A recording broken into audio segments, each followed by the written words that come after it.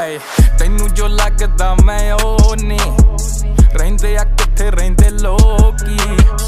ਮਾਰਦੀ ਛਾਲਾਂ ਗੱਡੀ ਲੋਨੀ। ਜਿੱਥੇ ਆ ਜਾਂਦੇ ਸਾਨੂੰ, ਉਹ ਜੀ ਦੱਸਦੇ ਆ ਲੋ। ਤੈਨੂੰ ਜੋ ਲੱਗਦਾ ਮੈਂ